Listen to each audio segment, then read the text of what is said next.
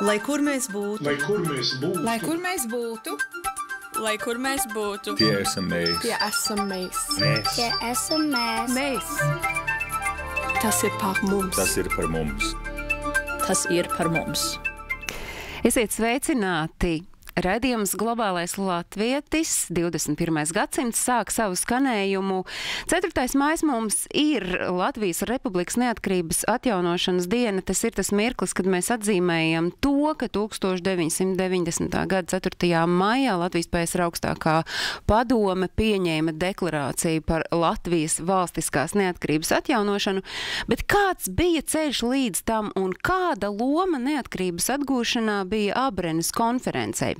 Tūkstoš 1989. gadā, maijā, Francijā Abrenes konferencē pirmo reizi tikās trimdas organizācijas un Latvijas tautas fronte, un par trimdas darbību Latvijas neatkarības atjaunošanā tas ir tas, par ko mēs šodien sarunāsimies ar tā laika notikumu aculieciniekiem Māru Sīmani, Austri Grasi, Gunti Bērziņu un Daini Īvānu. Es atgādinu, ka šis ir raidījums, kuru jūs ne tikai varat klausīties radioversijā, bet tā kā mēs raidām no Doma laukuma 8 no Latvijas radio viens multimediju studijas, tad šo raidījumu jūs varat arī skatīties un būt arī caur datoru ekrānu vai jebkuras viedierīces ekrānu kopā ar mums un redzēt, kādi mēs katrs šobrīd izskatāmies. Un jūs varat redzēt, kāda šobrīd izskatās Māra Sīmana, Māra Sabiedrisko zinātņu institūta Minsterē programmas koordinātore un Abrenes konferences dalībniece. Sveicināti, Māra! Labri, labdien! Labdien, es saku arī Austrim Grasim, Latviešu tautas augstskolas abrēna direktors, tolaik viens no abrēnas konferences organizatoriem, rīkotājiem. Sveicināti, Austri! Labdien! Guntis Bērziņš, Latviešu Nacionālās padomas Lielbritānijā vicepriekšsēdētājs un arī ņēmis dalību un bijis klāt esošs abrēnas konferencē. Sveicināti, Gunti! Dien. Un es saku labdien arī Dainim Ivānam, toreizējam Latvijas tautas frontes, frontes priekšsēdētājam. Labdien, Daini! Labdien. Es eh, jau pirms raidījuma teicu, ka mūs klausās viena daļa, kur ļoti spilgti atceras abrēns konferenci, un ir viena daļa, kur droši vien tagad ir saspicējuši ausis un saka, kas vispār ir abrēna un kas ir abrēnas konference. Šo jautājumu es droši vien Austrim prasīšu, jo jūs nu, varētu būt viens no tiem idejas autoriem. Bet tad kas ir abrēna? Kas ir abrēnas konference? Nu, vispirms abrene. Protams, tas radās tādā veidā, ka 3x3 nometnēs mēs satikamies un tur vienu nedēļu nodarbojamies ar latviskām lietām, bet mūsu ikdienas dzīvē nebija iespējams latvisko izglītību iegūt. Un tad radās tā doma radīt vietu, kur, kur var nu, pieaugušo izglītības sistēmu veidot, kas no, ar galveno mērķi tieši aizpildīt šīs, šos trūkumus latviskajā izglītībā. Nu, Un- tad, Un kad tad mēs- konference? konferences tas ir stipri vēlāk. Abrēnas konferences idejas uh, iniciators. Kurš man var pateikt, kurš tas īsti ir? Vai mēs varam teikt, ka tomēr uh, līdz galam, nu, ka tur dažādas ir varbūt tās versijas, kurš īsti bija?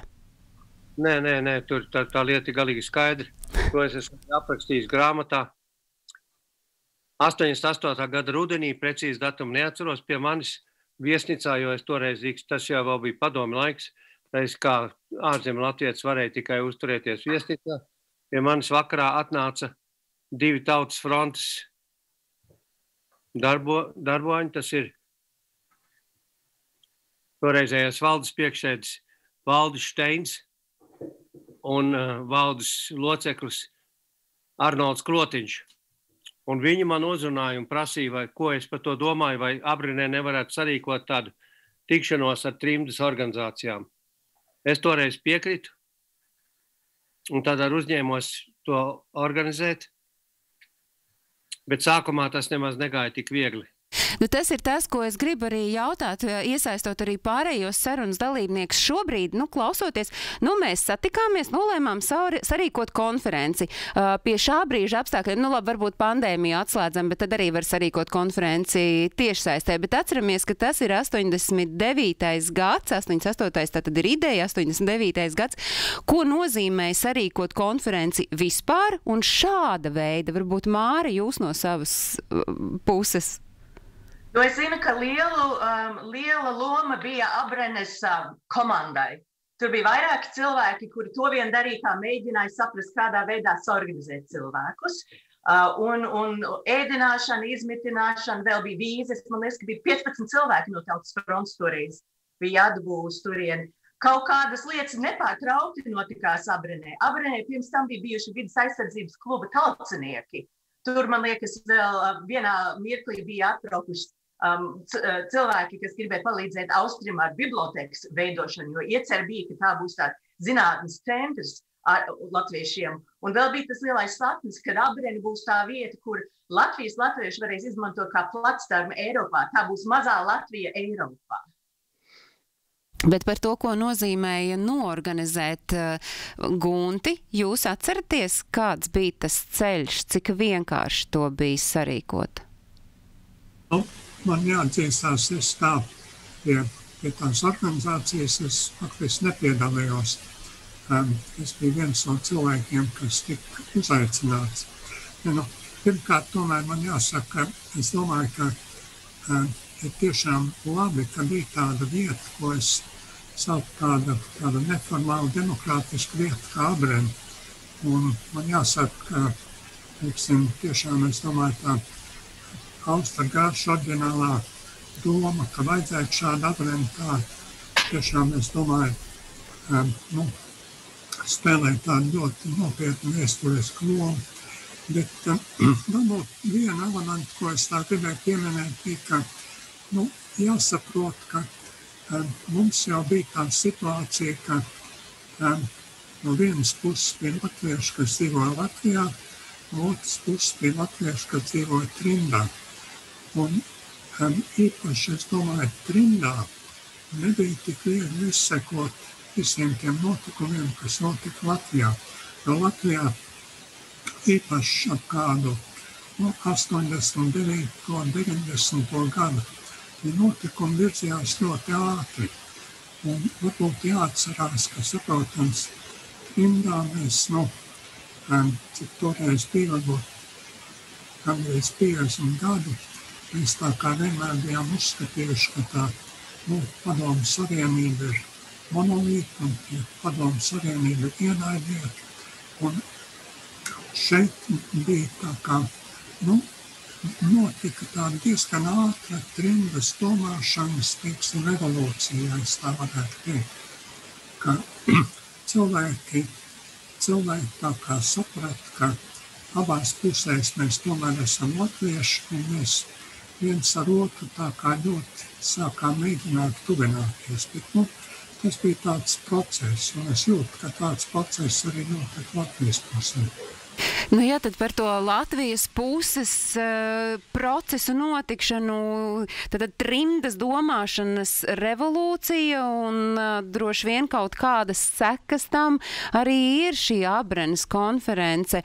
Uh, Daini no Latvijas puses raugot šī abrenes konference. Uh, cik svarīgi tā tika uztvērta. Man patika arī Māra lietoja, Māra lietoja to vārdu, bija jādabū uz turieni tie cilvēki no Latvijas.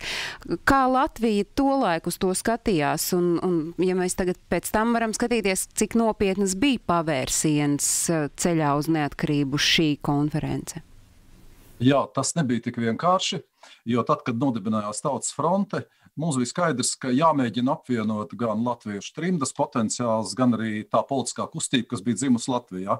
Un grūtības bija no abām pusēm. Pirmkārt, trimdas organizācijām bija ļoti liela piesardzība pret tautas fronti, jo nu, tika uzskatīts, ka iespējams, ka to ir veidojis arī tagad viens otrs tur runā čeka vai centrāla komiteja vai komunisti. Tātad mēs tā nevaram ar viņiem tik, tik ļoti tieši sadarboties. No otras puses, arī pirmie tautas fronts mēģinājumi uh, sazināties jau tādā struktūrētā līmenī ar uh, trimdas organizācijām, uh, parasti beidzās ar uh, milzīgu brēku Latvijas padomju presē, ka lūk, mēs esam pierādījuši, ka mēs neesam par padomju varu, ka mēs neesam par pārbūvu un tā tālāk. Un, un Tautas fronte jau tajā brīdī, dibināšanās brīdī, reģistrācijas brīdī bija pietiekoši piesardzīga. Un tā kā nevarēja no sākuma izveidot šos kontaktus. Man šķiet, jau tas bija tieši pēc Tautas fronts dibināšanas kongresa rakstnieku savienībā. Notika tāda saruna starp Kanādas organizācijas Latvijas Latviešu apvienības vadītāja Valda Liepiņa un mūsu Jāni Peteru, kurš arī sākotnēji piedalījās Tautas fronts organizēšanā. Viņi uzmeklēja mani, Un garām ejot, izmeta, ka vajadzētu norganizēt vienu tautas fronts konferenci, bet ne zem PBLā, jo PBLā to neuzņemsies, bet izmantojot tās tautas fronts atbalsta grupas, kas veidojās trimdā. Un e, šī konference notika 89. gada martā, aprīlī. Arī Mārcis Sīmans tur piedalījās, e, tur piedalījās e, Vairvīķa Freiberga, kur vienu no pamatreferātiem lasīja. Tur mēs diskutējām par mūsu ceļu. Un interesanti, ka Pasaules Brīvā Latviešu apvienības priekšsēžu vietnieks toreiz Gunārs Meirovics ieradās, bet visu laiku uzturējās vienā viesnīcas istabiņā lai viņam nevarētu pārmest, ka viņš ir sasaistījies ar mums, kur it kā trimdas presē bija rakstīts, esam sarkanie komunisti. Es ar viņu tikos šajā istabiņā, bet nu, tā viņš šajos kopīgajos uh, sarīkojumos nepiedalījās. Bet kur tad tā notika, šī tikšanās, kur notika? Šī pirmā tikšanās, kad Tautas fronts delegācija ieradās, bet ne ar trimdas organizācijām, ar, ar saviem atbalstītājiem visdažādākajās uh, nu, trimdas sabiedrības slāņos. Tā notika Eh, Toronto, netālu no Toronto, ir tāda pilsēta, pilsētiņa gan Nokve pie Svētā Labreņķa upes. Mārta labāk zina, varētu pastāstīt. Bet tur arī bija runa par to, ka beidzot vajadzētu savest kopā šīs divas nu, jumta organizācijas Latvijā. Un tika runāts arī par to, man liekas, Adolfs Klīve to toreiz teica savā referātā, ka, ja PBLA nepasteigsies nodibināt kontaktus ar Latvijas tautas fronti, tad viņi var nepaspēt ieliekt arī tajā vilcienā, kas aiziet uz Latvijas nākotni. Un, eh, tāpēc mērķiecīgi tika gatavota šī nākošā tikšanās. Eh, Austras Grasas laipni piekrita eh, iniciatoriem, ka šī tikšanās varētu notikt 1989. gada maija vidū Abrenē. Izbrauca vesela delegācija no Tautas fronts, arī LNK tur bija pārstāvēta teiksim, es kā tautas fronts priekšstādājs nevarēju tur piedalīties. Mums paralēli notika divi šādi ārkārtīgi svarīgi startautiski pasākumi. Tajā pašā laikā Tallinā notika pirmā Baltijas asambleja, kur mēs uzņēmām eh, tādu kursu uz, uz, uz visas trīs Baltijas valstu neatkarību. Un uh, Abrenes konferences taisteizoties priekšā, varbūt tā galvenā Galvenais rezultāts bija tas, ka beidzot tika noslēgta šī sadarbība starp uh, Latvijas un trimdas galvenajām organizācijām.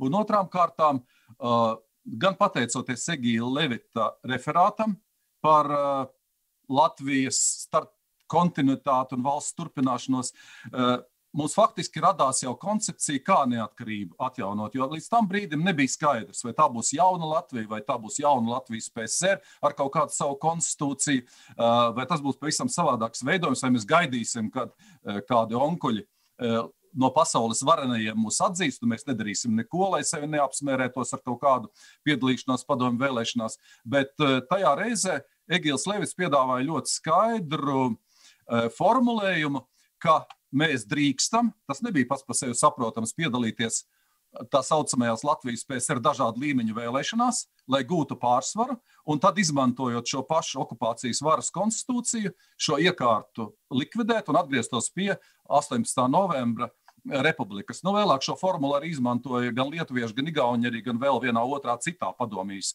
republikā. Tad, proti, sanāk, ka tika tas plāns šajā Abrenes konferencē, nu tā, saliekot daudzas gudras galvas kopā, nu tā kā izfiškots, un tad tas tālākais ceļš. Māra grib kaut ko sacīt. Es gribētu, pirmkārt, es gribētu ielikt šo visu kaut kādā cita, mazliet plašākā vēsturiskā kontekstā no tā laika. Un vēl viena lieta, teikt, ka galīgi vesels plāns tur nebija, bet tas bija pilnīgs lūzuma punkts pilnīgs lūzumpunkts attiecībā uz to, kādā veidā atjaunot to neatkarību. Un ko darīt ar sasodīto Molotovu-Ribbentropu paktu? Respektīvi, vai runā par seku likvidēšanu, vai nerunā par to seku likvidēšanu. Uh, bet es teiktu, ka viss tas um, uh, Abrams konferences bija tādas tango starp divām pusēm. Tikai tajā vienā pusē viens tā kā PBLA puse konstantējoja, un otrā pusē um, mainījās partneris nemitīgi. Um, jo nebija tikai tautas fronts pārstāvi, bet tas bija ļoti svētīgi arī, tāpēc, ka mēs runājam arī katrā ziņā visā tajā kontekstā par demokrātisko plurālismu. Un uh, mazliet, ja mēs skatāmies uz to visu laiku, es teiktu, ka Dainis ar Artūru uzrakstīja to par Daugavas likteni, domājot jau 86. gadā. 87. gadā man liekas, kad sākās viss tas posms, kas beidzās ar to neatkarību. Gan ar to, kādā veidā, vismaz no trimdas puses skatoties. Tas bija tas 14. jūnijas, tad, kad Helsinki 86 izlika karu, um, ziedus pie karoga, tad 23. augustā, kad Helsinki 86 atkal pacēla jautājumu par Molotov-Ribbentrop paktu, un bladāts tūlīt pēc tam tika izraidīti disidenti, Es strādāju tajā laikā, es vadīju PBL, nu, es biju tajā PBLā Sabiedrisko zinātņu institūtā, kas uh, pastāvēja Minsterē. Un tas institūts bija domāts, lai trimdas jaunieši kļūtu par PBLā jauniem darbiniekiem. Un tur bija no vairākiem kontinentiem jaunieši, un viņu uzdevums bija strādāt uz ko? Uz Latvijas neatkarības atjaunošanu un uz to, kāda būs Trimdas pār, uh, institūta loma. Man jāsaka, ka tajos trīs gados, līdz tai aprenē un tad gadu pēc aprennes, nu, līdz 4. maijam, principā, šie jaunieši spēlēja tādu ļoti interesantu katalizatoru lomu arī ar tiem pārējiem cilvēkiem tajā PBLā. Man jāsaka, ka tāds ageisms nekāds nebija tajā laikā. Visi bija viens. Nu, um, tas, kad Es biju viens no jaunākajiem cilvēkiem, tur ar saviem 27 neko nenozīmē, jo otrā galā, piemēram, un, un tie jaunieši, kas bija manā institūtā, viņi bija gados, nu pat kā beiguši studijas, cita lieta. Bet īstenībā, sakoties, 87. gadā Izraid, šos cilvēkus izraidīja. Viņi arī atbrauca disidenti uz ministrs. Viņi pārstāvēja vairāk vai mazāk cilvēkus, kas bija Helsinki 86 un tā tālāk. Tad bija, sākās tas 88. gads, bija Rakstnieku savienības tas plānums, kurā arī piedalījās mūsu SZI, Sabiedrisko zinātņu institūta PBLA jaunieši. Viņi visi saņem stipendijas, un tas viss bija ziedojums no latviešiem ārzemēs. Tad vēl bija uh, izbraucina 23. augusts, atkal izbrauc vidas aizsardzību kluba Turins, kas arī pārstāvēja citu politisko skatu punktu. Tad uh, 88. gada beigās bija fronts kongress, tur arī, man liekas, musējie bija pārsvarā tie jaunieši. Tad sākās pilnīgi tāda lieta, ko šobrīd jaunieši šobrīd nevarētu iedomāties. Mēs varējām izvest pirmos video. Nu, tādu mēs izvedām zaķu saules ritmu. Zaķisāles ritmos bija tāds, pasāk, um, bija tāds viens sižets, visi zviedri. Mēs vedām uz ārzemēm. Jaunieši pirmo reizi redzēja Latvijas televizoru, tie, kas nebija bijuši. Uh, bija tāds cilvēks, iznāca šitāds, un viņš skatās uz ārzemēm, nekā nevajag braukt, tur nekā nav. un tas bija tik smieklīgi, jo tiešām mums bija vienmēr tāda sajūta, ka atbrauc cilvēki agrāk, kultūras sakara kultūras darbinieki. Viņiem vienmēr bija pavadoņi un tādas lietas, un tie PBLā cilvēki to nevarēja neredzēt. Uh, un tā kā vienmēr bija tā veselīgā skepse. Uh, un tad, un tad 89. gadā jau uh, iznāca atmoda, sāk iznākt atmoda, un, un Abrene tā apmēram, nu, 5 mēnešus pirms LNK dibināja. Un tāpēc, un tāpēc, tad, kad Abrenē notika šis pasākums, bija tautas fronts pārstāvi, bija tie, kas bija, zinām, uzticības koeficientu dabūjuši, tāpēc viņi bija padzīvojušies arī jūrm, um, ko sakas, uh, Minsterē un citur tie Helsinki 86 cilvēki, Vidiņš tur bija, bija Berklavs no LNK, un tad bija interesanti tie stāsti, un bija iepazīšanās. Tad bija tas pirmais uzaicinājums uz to tango dažādām pusēm arī. Par to var pastāstīt vēlāk, es par daudz runāju. Nē, man patīk, kā jūs nosaucāt, vai jūs arī pārējie piekrītat, ka tas zināmā mērā bija tango, un tad arī varbūt turpinot uh, saprast vienkārši klausītājiem, kas tad tajā abrenē īsti notika, Austri. Tas bija tango. Jā, gribēju piebilst pie Māras teiktā, ka tas, tas ka no LNNK piedalījās Berklaus un Vidiņš, tas bija tīri abrenes nopelns jo mēs uz to pastāvējam, kamēr tautas fronts sākumā bija strikti pret to. Nu, vispār es saprotu, ka tur kurš brauks, kurš eh, būs, kurš piedalīsies, un vai vispār to vajag. Tur tāda šaubu ēna bija pāri visam laikam, visu to laiku. Es pareizi sapratu, ja? Kāpēc? Gunti. Nu, es domāju, mēs jau to tā, tā ieskicējām, ka kā te vārdi teica, notika tāds tangoja, notika tāda, nu, kā es minēju, tāda evolūcija. Bet es gribētu teikt, ka varbūt tas labums no nu, visā tajā abrēna situācijā bija, ka faktiski ka mēs bijām nu, gandrīz uz veselu nedēļu cilvēki tā kā projām no ikdienas. Mēs bijām projām šitajā nu, brīnišķīgā Francijas pilī. Laiks bija ļoti skaists. Nu, mēs uh, arī ēdām vakariņas un pusdienas kopā. Mēs staigājām pa parku un tā. Tāpēc cilvēki dabūja ne tikai, ne tikai varbūt tā formāli aprunāties, bet, bet faktiski arī tā iepazīties no personīgā viedokļa. Tas man liekas arī bija ļoti, ļoti svarīgi. Bet varbūt, ja tā atgriežamies pie tās konferences, nu, man prātā stāv, ka tajā konferencē bija, tur nodibināja divas galvenās komitejas, kas, kas nu, gan, nu, kur notika sarunas. Un, nu, es biju politiskajā komitejā, un tie galvenie temati, kas tika pārunāti tajā politiskā komitejā, bija, nu, kā jau Mārta pieminēja, bija viens par Molotova Ribbentrop pakts, tad arī bija tas, ko Dainis pieminēja, teiksim, tur Egils Levits, Liekas, viņš tā kā pārstāvēja tādu grupu, kas skaitījās jaunie juristi.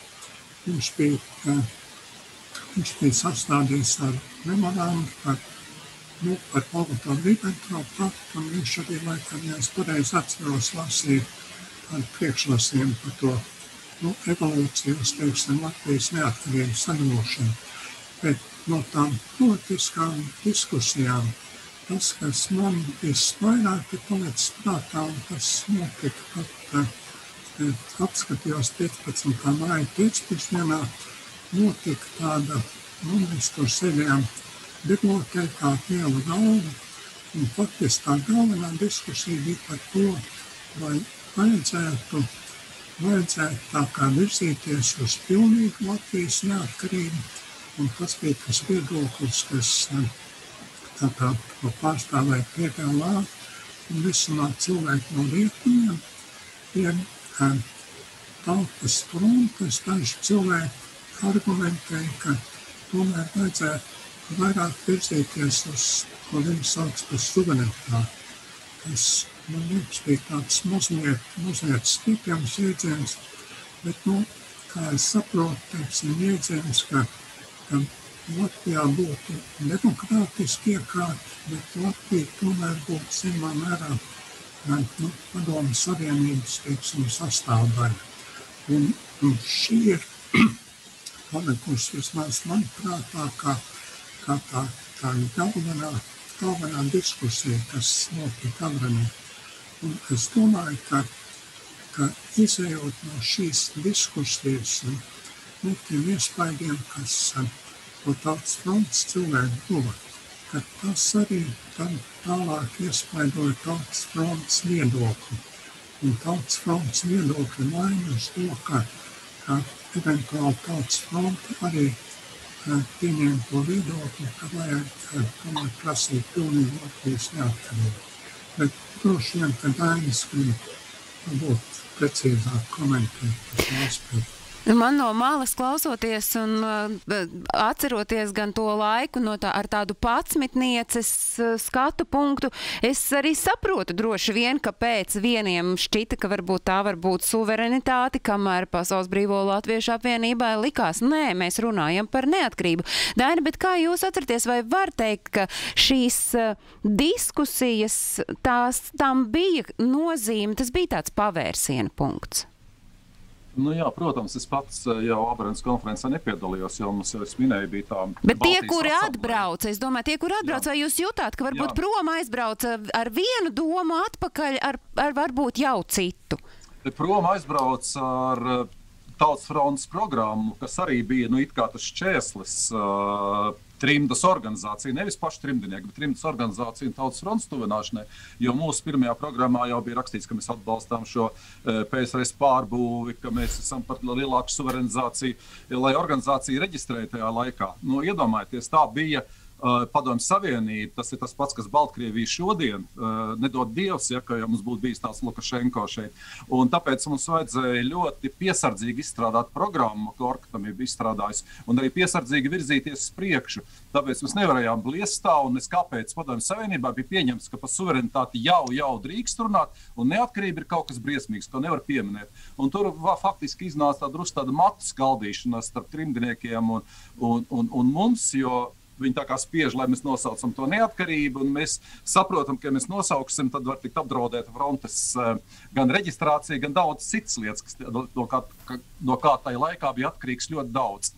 Savukārt pēc Abranas konferences jau, bet tur arī bija tāda kompleksa iedarbība. Arī Baltijas asamblēja bija notikusi jau, kas bija pieņēmusi to, ka virsuzdevums PSRS deputātiem no visām tautas kustībām Baltijā ir panākt Ribbentrop-Molotova pakta denoncēšanu Maskavā, Kremlī, un mēs to beigās arī, kā zinām, panācām ar Baltijas ceļa eh, starpniecību.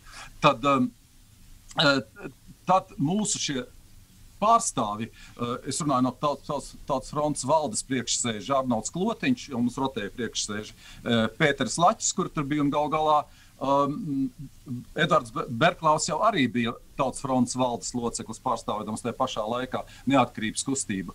Uh, viņi atbrauca jau faktiski ar tādu, kā viņi paši teica, pussacerētu aicinājumu. Tas bija tas slavenais 31. māja aicinājums, ko viņi vilcienā no Parīzes līdz Rīgai bija daļēji uzmetuši, vēlāk tas tika izstrādāts, un divas nedēļas pēc Abrams konferences tika arī uh, nevis tā tādā nu, teiksim, paziņojuma formā, ka tūlīt mēs prasām to un to, bet es domāju, ļoti demokrātiskā formā piedāvāts visās tautas fronts nodaļās un uh, atbalsta grupās apspriest Latvijas pilnīgu uh, neatkarības atjaunošanu, kas nebija pirmajā tautas fronts programmā, uh, un, un, un tās iziešana nu, kā, kā toreiz mēs teicām, ārpus PSRS šo suverenitāti. Nu, ar, arī šā 31. maija aicinājuma iznākšana. Tas bija milzīgs skandāls. Tur bija, bija tajā brīdī Maskavā, Kremlī, Kongrespilī. Tur bija vesela saštuma vētra, kas gāzās pār Latvijas delegāciju un pārmetumu. Un, un, un, un tomēr tas galvenais impulss bija nācis, jā, tas bija nācis tiešām no Abrams konferences. Un, un tas bija arī mūsu iedrošinājums, ka tagad mēs jau esam dubults spēks, kā latvieši abās uh, nu, jau brūkošā dzelzceļa aizskara pusēs ir sākuši darboties kopā vienā virzienā. Un arī to, tā mērķa formulējums bija skaidrs, pateicoties arī Egīla Levita šim formulējumam, ka, ka tur jau, saku, tie, tie risinājumi bija dažādi, jo gal galā Latvija neatkarību zaudēja autoritārs laikmetā, kad satversme nedarbojās.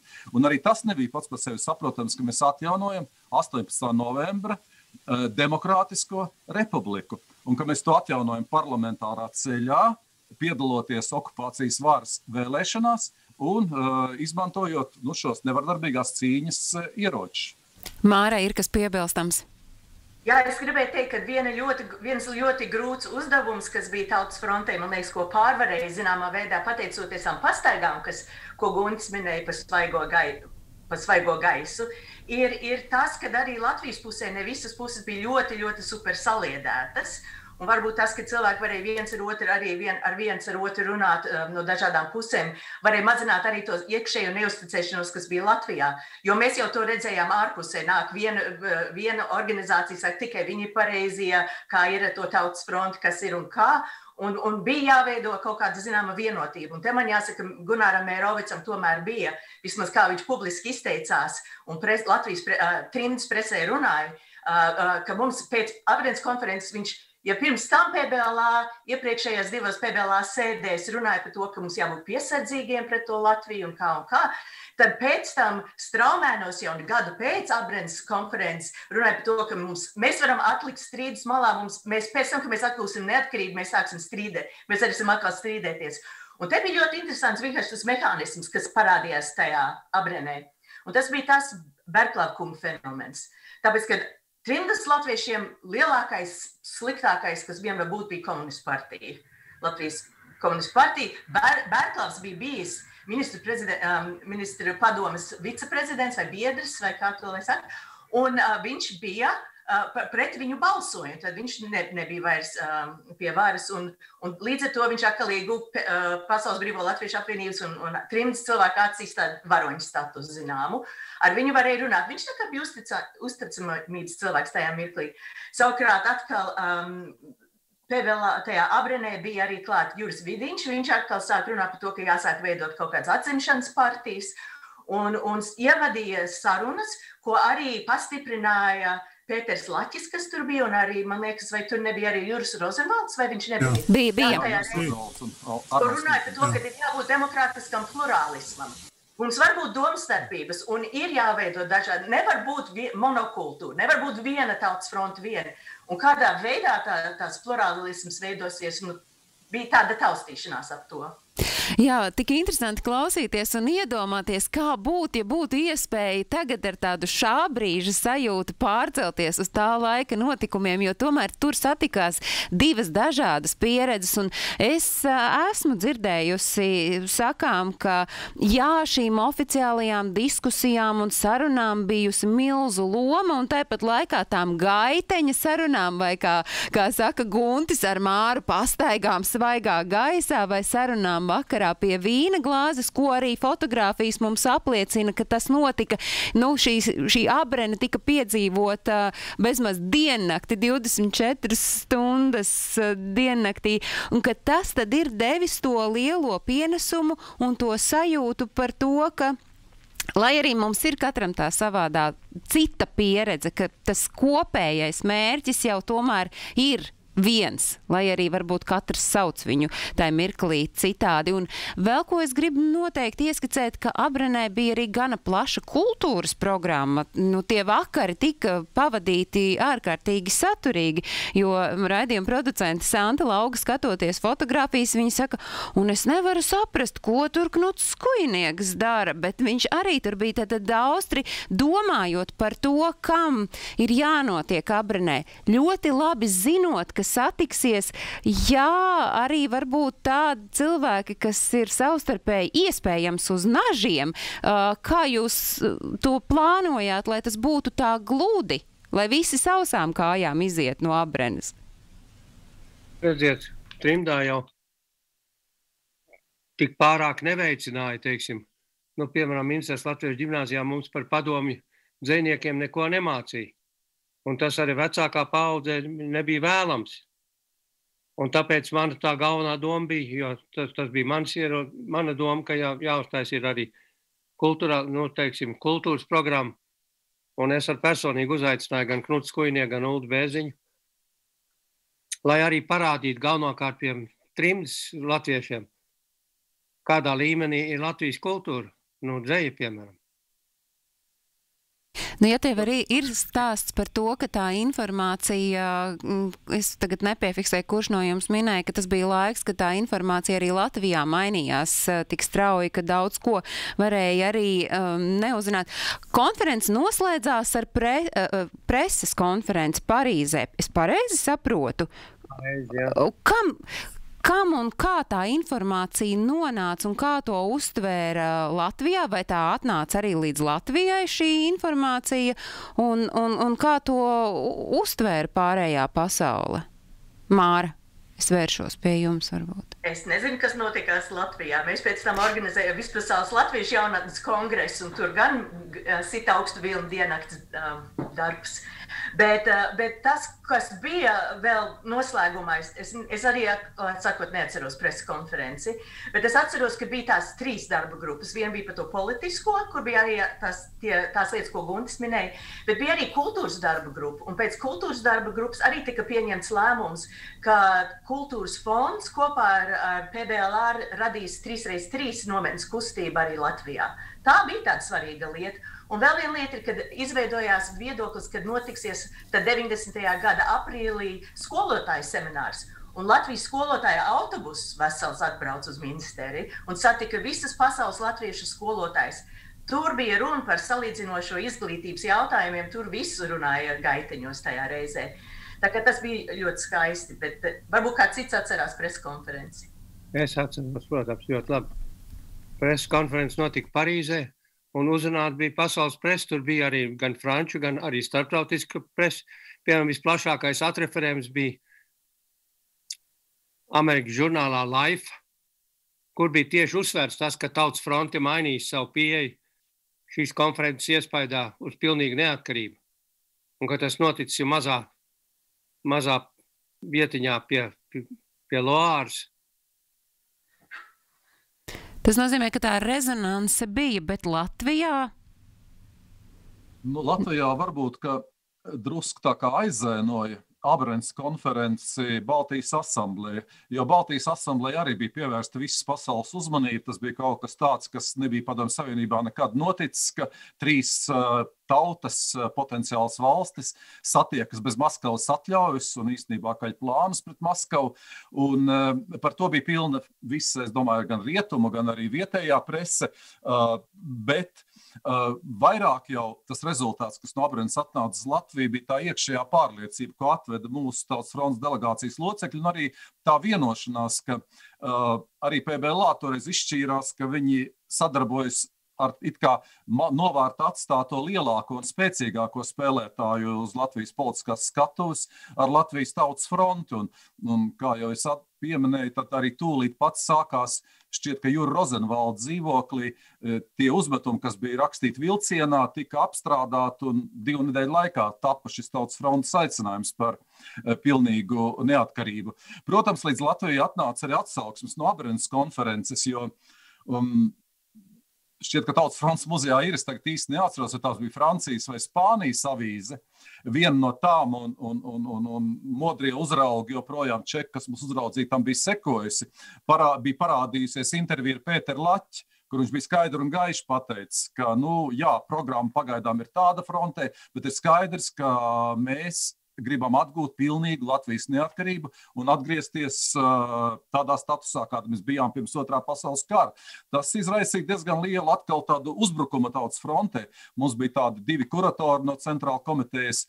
Sergejs Dolgopolovs un Ojārs Skudra, un tad mūs nāca un svētīja, vai tā var atļauties. Nu, protams, Tautas fronte jau neņēma galvā vairs šos kuratorus un šo aizējušo kompartiju, bet tādi kā mēģinājumi raut mūs aiz stērbeles atpakaļ, uh, uh, vismaz tajā statusā, kādā mēs bijām pirms eh, Abrēnas tikšanās, tādi, protams, uh, protams notika. Uh, bet, bet katrā ziņā nu, tā eiforija, ka, ka, ka notiek lūzums, ka notiek ļoti strauji pavērsiens Latvijas vēsturē, tā bija sajūtama visos mūsos, arī šeit, Latvijā. Jā, zīmīgi, ka tiešām tas ir tāds uh, svarīgs maija notikums, lūzums un pavērsiens. Tas ir tas, ko es sadzirdu un saklausu, un tas ir tas, kas mums arī ir jāliek aiz auss domājot par to, kāds tad bija ceļš uz Latvijas neatkarību. Nu, tad es drīkstu tā teikt, ka Abrēnas konference bija tāds spilgts apliecinājums, vai es nezinu, varbūt pat rezultāts tam, ko mēs saprotam ar trimdas latviešu nacionālu politisko darbība, nu to proti to politisko un miermīlīgo rušināšanos, ja tā varu teikt, katram savā mītnes zemē ar to vienu mērķi - veicināt Latvijas neatkarību. Visi piekrītoši māja, Māra. Un, nu labi, tad es vēl vienu tādu ķecerīgu jautājumu pajautāšu, vai, vai Latvija iegūtu neatkarību uh, Jā, nu 4. maijā, aptuveni gadu, nepilnu gadu pēc Abrēnas konferences, ja nebūtu bijusi Abrēnas konference. Daini?